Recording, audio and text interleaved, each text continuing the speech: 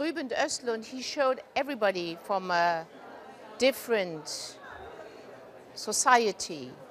But at the end, everybody wants to have the power, everybody wants to have the money, everybody wants to have his best thing. So everybody is equal. I say this sentence also as Vera, but nobody will be judged. The good one is also an evil, the bad one is also a good one. So the colors black and white doesn't exist.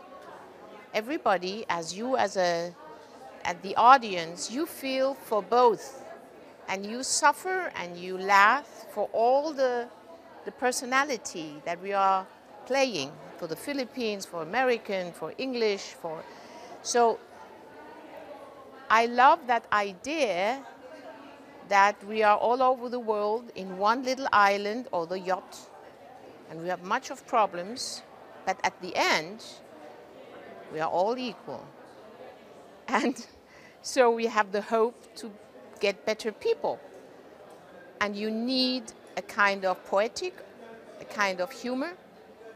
Otherwise, without humor, you can't change, you can't survive.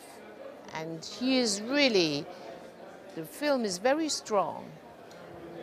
But I like, and I, I had my first uh, moment in Cannes, in the Lumière, with 2,700 people. And the reaction was, until now, more than 4 million people saw this film in the cinema. Vive le cinéma, the same reaction. And that's for me a magic. It's a magic moment. And I don't like as an actress to see rushes and because I'm on stage also and I don't want to see I don't want to see myself in control. But I was in the in the movie, in this movie, 20 times and it was always the same reaction. I never had that before. So it's even Corona, it's a big gift to Ruben Östlund who wrote it and to my colleagues and the team to make such a, a great film and to be a little part of that. And you have to be very true. My mother and my father escaped from Hungarian. I was stateless 15 years without passport, so I know a lot of countries have no the possibility to say what they think of the government. So when, even if you are nominated from the from the Parliament, the European Parliament, you have a support who gives not just the honor and the famous.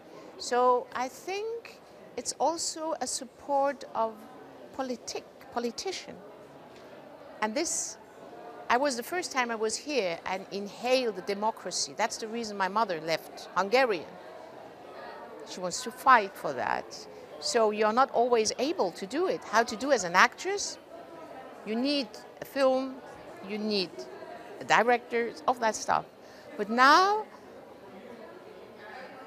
I'm not only passive, I, I can do my own film, I can talk, I will look that I'm coming back and to support other films who are not, and give a voice to those films who are not able to, to, to say what they are feeling because the government is not, yeah, Russian, Iran. I saw a Persian version. A lot of women wants to